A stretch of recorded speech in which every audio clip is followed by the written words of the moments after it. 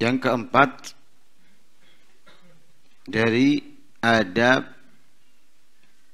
yang dianjurkan untuk banyak dilakukan dan dikerjakan pada hari Jumat yaitu qiraatul Quran, membaca Al-Quran. Membaca Al-Quran secara keseluruhan. Dari wirid, hizib, atau rutinitas kita melebihi hari-hari sebelumnya.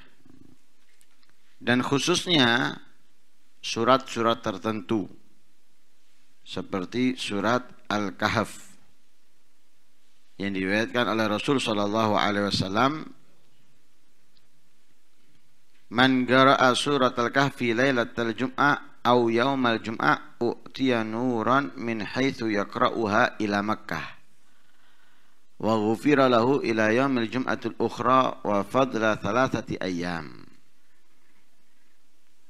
Barang siapa yang membaca surat Al-Kahfi malam Jumat atau hari Jumat Allah memberikan kepadanya cahaya dari tempat ia membaca sampai ke Mekah. Jadi cahayanya bersinar sampai ke Mekah.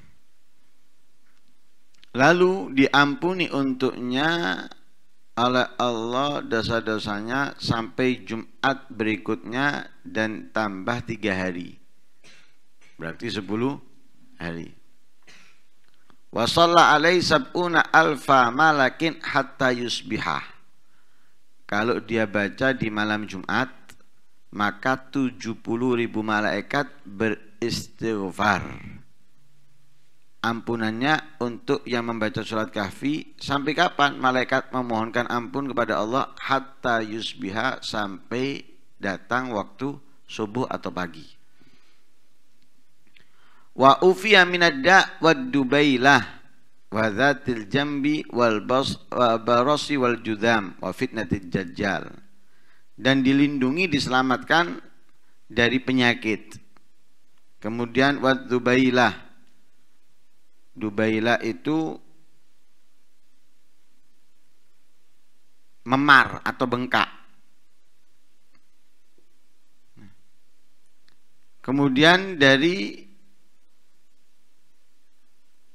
Zatil Janab.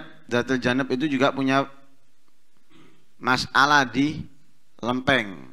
Ya. Wal lep apa?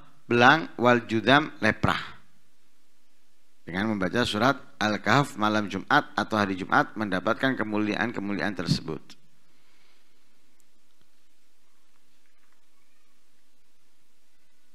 Dan juga banyak daripada para aulia, khususnya orang-orang yang ahli ibadah, mereka menganjurkan dan mensunahkan untuk membaca pada hari Jumat Kul Ahad sebanyak seribu kali. Dikatakan barang siapa yang membaca surat Al-Ikhlas di 10 rakaat atau 20 rakaat itu lebih afdal daripada sekali hataman. Lebih afdal daripada sekali hataman. Dan mereka bersolawat kepada Nabi SAW seribu kali lalu membaca subhanallah alhamdulillah wa la ilaha illallah Allah akbar seribu kali. Wa in al musabbihat as-sitta fi yaumil jum'ah aulatiha fa hasanun. Kalau dia membaca surat al musabbihat yang jumlahnya ada enam pada hari Jumat atau malam Jumat fa hasanun maka itu baik jadi surat yang diawali dengan kata subhana atau sabbihi. Ya, sabbih isma rabbikal a'la. Sabbahalillah yusabbihulillah ya. jadi gampangannya surat al-hadid surat al-hasyr surat as-sof surat al-jum'ah surat at-taghabun dan surat al-a'la. Itu enam. Ya, yang diawali dengan kata tasbih sabbaha yusabbihu ya, dan yang lain sebagainya jadi surat Al-Hadid, Al-Hasyr,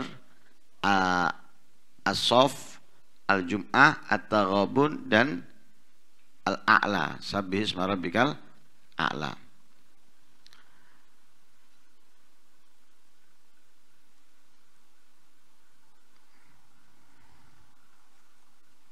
Nah, itu yang dianjurkan. Yang dianjurkan untuk diperbanyak pada hari Jumat yaitu membaca Al-Quran khususnya dari surat-surat tertentu. Nah, juga surat tertentu yang dianjurkan untuk dibaca ya, seperti surat Ad-Dukhan dan yang lain sebagainya yang memiliki keistimewaan yang besar.